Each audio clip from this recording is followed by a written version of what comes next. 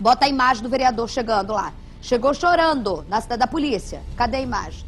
Tá aí a imagem dele, Carlinhos Barreira, vereador de Caxias, foi surpreendido hoje pela manhã em casa. Quando se preparava ali para tomar café, chegou assustadíssimo com as câmeras na cidade da polícia. Jackson vai dar os detalhes que estava aqui com a gente. É, a Polícia Civil em uma operação com o Ministério Público, uma investigação que não é de agora, acusa o Carlinhos Barreira, que está chegando aí, que está mostrando a imagem, Jackson Silva, de não só fazer parte de uma quadrilha de agiotagem, como liderar essa quadrilha, é isso? Exatamente, Isabelle Benito, boa tarde mais uma vez. O vereador Carlinhos movimentava contas milionárias, segundo a polícia. Ele também é acusado, Isabelle, de praticar diversos crimes, entre eles agiotagem e extorsão. E o pior, tá? Tudo contava com a ajuda de dois policiais militares que estão na ativa. Vamos então falar com o delegado responsável por essa investigação. Doutor, uma operação que deu o tiro certo no vereador e também dois policiais militares da ativa que infelizmente também praticavam os mesmos crimes, né? Uma boa tarde para o senhor. Boa tarde, boa tarde Isabelle Benito, boa tarde a todos. De fato, hoje nós realizamos a operação em parceria com o GAECO, cumprimos 17 mandados de busca e apreensão e três mandados de prisão preventiva. Um deles do vereador, Carlinhos da Barreira, e dois de policiais militares da ativa. Doutor João Valentim, como que os policiais agiam nesse esquema? É, os policiais, na verdade, constituíam o braço armado da associação criminosa e figuravam também é, como operadores financeiros do, do, do Carlinhos da Barreira. Né? Então, eles tinham função essencial dentro do grupo criminoso. Vamos falar então com o promotor, por gentileza? Passa ele, doutor, por gentileza. Promotor, pelo esquema a gente entende que eles agiam também como uma milícia, né? Um esquema muito parecido com a da milícia também. Sim, a atividade é similar com a atividade de milícia porque eles trabalhavam com, com agiotagem, com extorsão, são atividades típicas de milícia. Mas a acusação é, que pesa sobre o vereador e os policiais militares é, não envolve milícia, envolve uma associação criminosa, é, lavagem de dinheiro, agiotagem e extorsão. Só explica pra gente como é que funcionava esse esquema, doutor. Tudo foi é, feito a partir da denúncia de um empresário, né? Como é que foi? Sim. É, no dia 31 de julho de 2020, o empresário é, procurou a delegacia com medo de morrer, dizendo que tinha pego emprestado é, um milhão de reais Nossa. em espécie é, do vereador Carlinhos da Barreira. É, ele tinha que pagar, é, ficou acertado que ele pagaria 3,5% de juros ao mês, o que dá, que equivale a 35 mil reais mensais então ele pagou esse, essa quantia de fevereiro de 2019 a fevereiro de 2020 e parou de pagar quando sobreveio a pandemia. Durante a operação Isabelle, foram cumpridos 17 mandados de busca e apreensão, principalmente na Câmara dos Vereadores também. O promotor e o delegado estão à sua disposição. Isabelle Benito. Agradeço, doutor Rogério, doutor João Valentim. Eu vou perguntar para o doutor João Valentim. doutor João, a pergunta minha é a seguinte: eu tô aqui com os dois, o doutor Rogério falou, e eu tô aqui.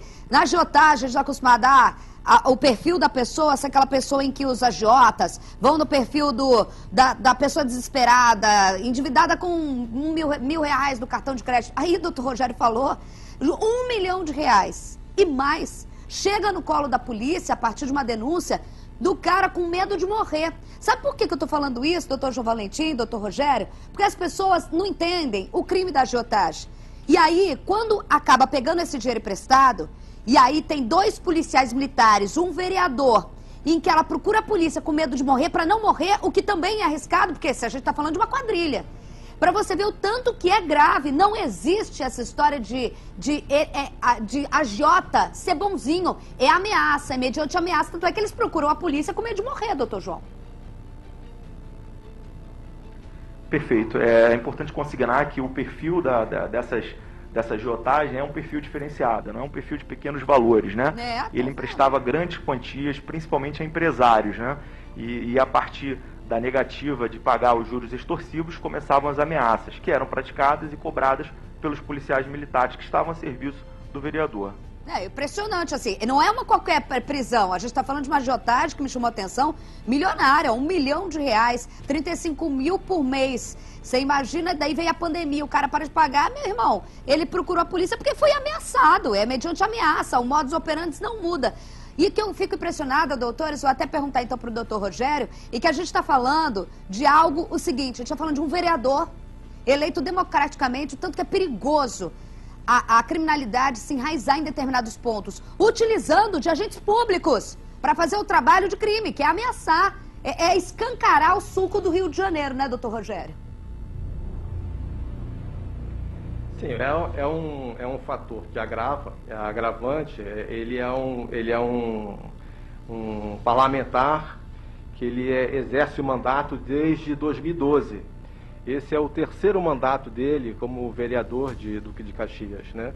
E ele se valia dessa condição para oferir dinheiro ilícito e utilizava dois policiais identificados, dois policiais militares, para fazer as cobranças mediante constrangimento, com é, ameaça de morte, e, a, e quem não pagasse é, poderia sofrer as consequências. Ô, doutor João Valentim, eu fico pensando aqui no trabalho de vocês, porque por mais que chegue uma denúncia à polícia, para você constituir elementos para chegar até o dia de hoje, fazer a denúncia ao Ministério Público, oferecer a denúncia, aceitar, é preciso você ter. A polícia pode achar e ter certeza, mas é preciso prova jurídica. Para conseguir uma operação, o delegado conseguir uma operação que leve à cadeia qualquer pessoa, mas principalmente um esquema como esse, não é fácil muitas vezes conseguir essa prova. Eu nem vou perguntar, mas assim, basicamente o inquérito está sustentado, por isso conseguiram a prisão dele, é, dessas provas, não só da agiotagem, como também da ameaça, não é, doutor? Sim, com certeza. O inquérito policial foi estruturado é, em parceria com o GAECO. Nós conseguimos robusta prova é, pericial documental. Inclusive, conseguimos constatar que uma das empresas do vereador era utilizada para lavar o, o, dinheiro do crime antecedente, das extorsões, da agiotagem. Então, é, a partir da quebra, das quebras de sigilo bancário e fiscal, robusteceram e corroboraram sobremaneira é, a acusação inicial. Então, a narrativa da Polícia Civil e do Ministério Público vão ao encontro de tudo que foi é, dito pela vítima lá atrás. E vou além, tá, gente? Vou além. Eu acho que não para só aí, não. A gente está falando de um esquema diferente, como o doutor Jovem Leite falou aqui, que não é da agiotagem você fazer pequenos empréstimos. O cara, pra... ele é um banco, por favor? Por acaso ele é um banco? A polícia agora, o Ministério Público, abre um outro leque de investigação. Ah, de onde partiu esse dinheiro? Quem é você?